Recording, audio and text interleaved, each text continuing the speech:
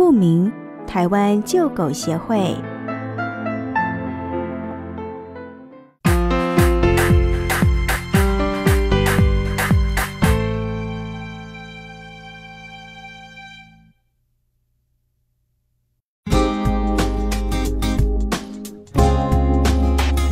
接下来，请收看海涛法师弘法讲座。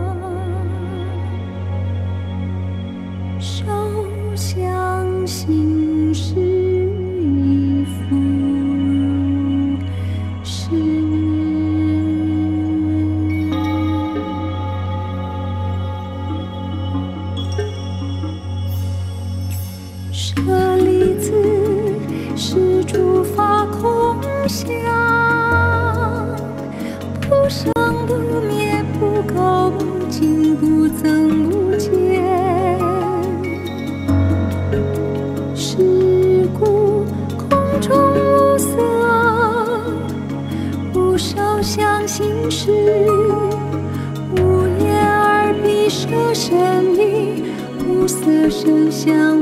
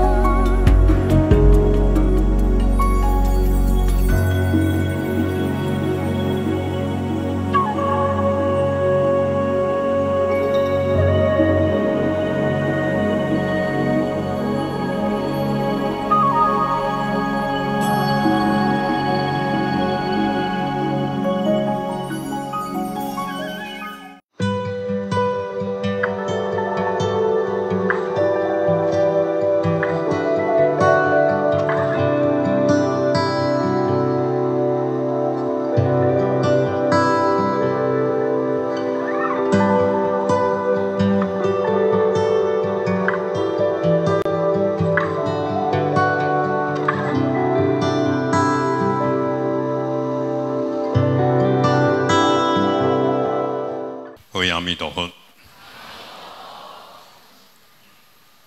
随喜大家的精进，所以对我来说，既然出家啊，只有一条路，精进啊。当然，精进分作两个方面，对内跟对外。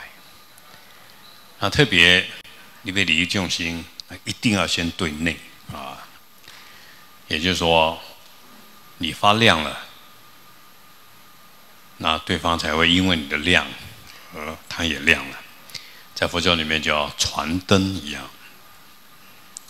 所以为了要利益众生，啊，一定要成佛啊，这个叫菩提心。那为什么要利益众生？因为咱就感苦啊。老实讲，我的这世世间有艰苦无？家在个小可快乐。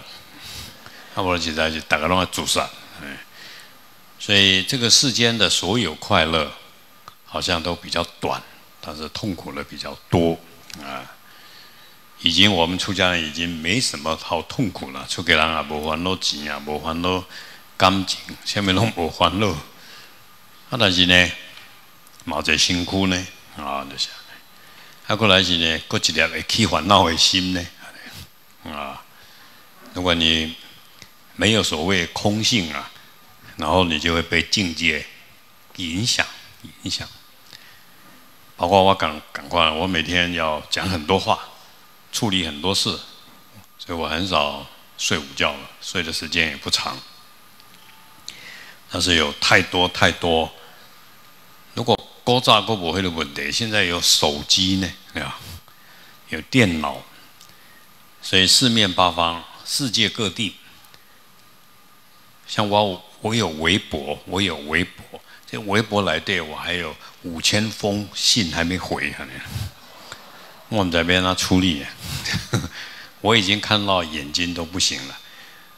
但是老实说，不回不慈悲啊，因为贵体有好几个，因为他们在癌症在医院，当然他还可以看微博，然后很痛苦，想要自杀都还问我师傅，我要跳下去了，我还跟他不要跳。因为嘿，那个腰有腰，那那腰的疼，他腰里面有癌细胞，你看没有办法，就只想自杀啊！所以他太太就拍相片给我看，你都只能每天抱着棉被，然后这样弯了，因为小花叮当都疼。当然，伊家公他他真的想跳，但是他连爬到窗户的能力都没有，但是他又不能跳。因为他太太一直求他活下来，因为各种的因呐很小，很痛苦。那当然两三天他痛的时候就会传给我，我就会一直帮他，一直帮他。到后来几个礼拜没传，我想一定是死啊啊！当然，所以我只是希望他是因为癌症而死，而不要因为跳楼而死啊。但是。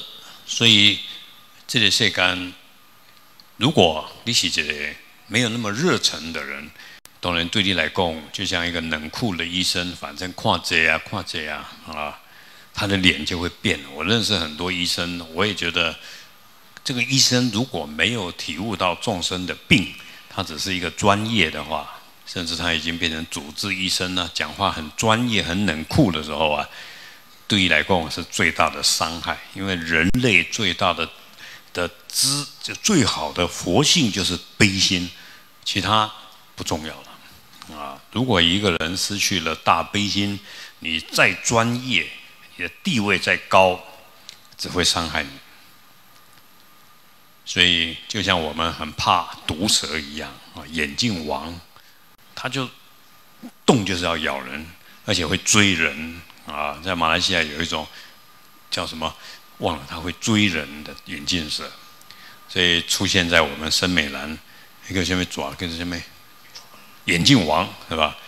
所有印尼人看到都跑掉啊，因为马来人他们最，因为他会追一般的蛇，按你按你按你照眼镜，它可以直接这样跳到你身上啊，它跟别的蛇不一样，所以看到全部。他们这几天放假，所以我们战日是要自己看。他就问我怎么办，我请偷铁工啊，不要弄。第一个你不能伤害他，第二个你不能报警，对不对？那你要请土地公，我有个枪子的监牢地神，我传相片黑细苗连开光。啊，眼镜王还不算，昨天又传给我一只。绿色很漂亮，将近三公尺。他问我，我哪摘？我讲叫做青蛇啦。他说：“师傅怎么会一直出现？请土地公今天两阿弥陀佛啊，只能这样子。但是跟你的工人说，不要惹他，也但是也不需要怕他，怕也没用。因为我以前在横村也是经常碰到这些。”后来我发觉怕他没用，怕他他可以跑到你房间，你一个不小心，因为我有一个师兄弟，就抓块板筋，乒乒乓乓，我前面代志抓你板筋来，眼镜蛇呢？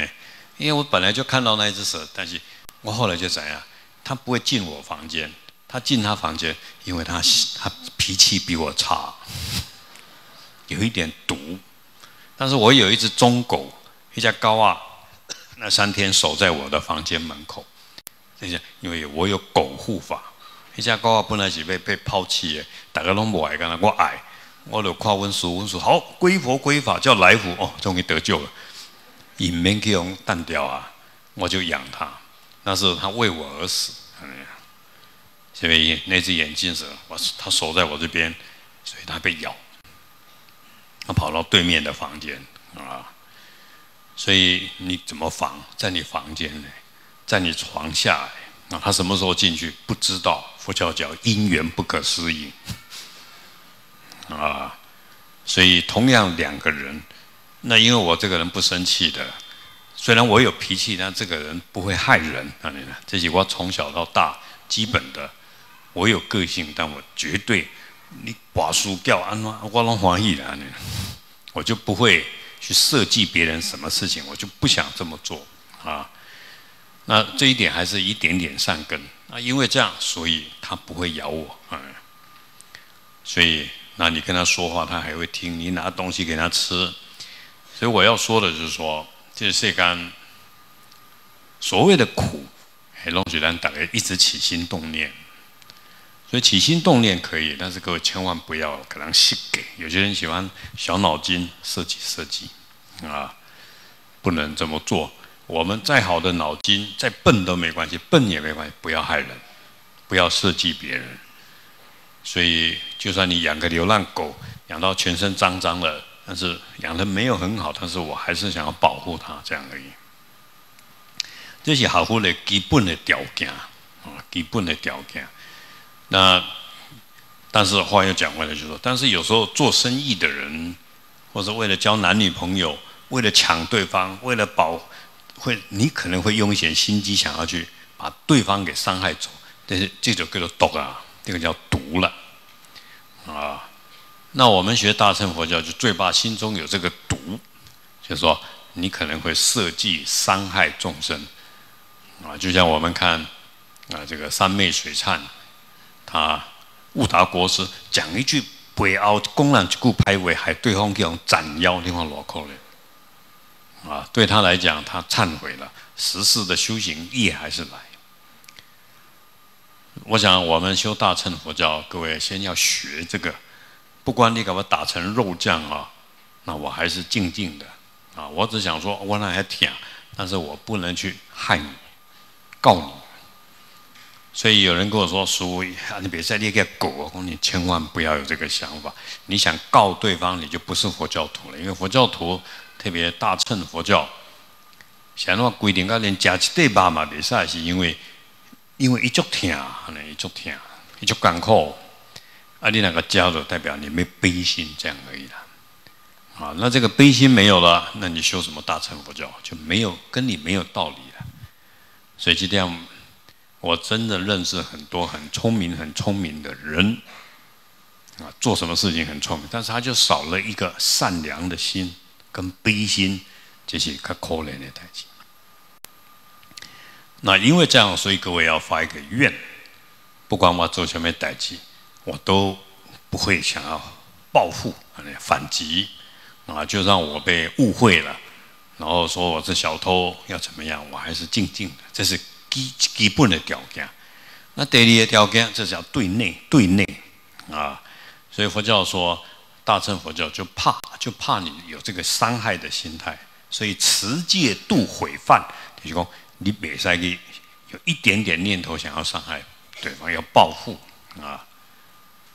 所以那第二步，那你才会想说，以这个为基本，然后怎么去帮助众生。那为了帮助众生，各位一定要脑筋要非常的细腻，细腻，因为方方面面不容易兼顾。就像我现在很喜欢超度，各位很多人跟我很喜欢做烟供，那有很多做烟供的人也经常传给我很多问题，给些外经菩萨啥，我也不知道为什么。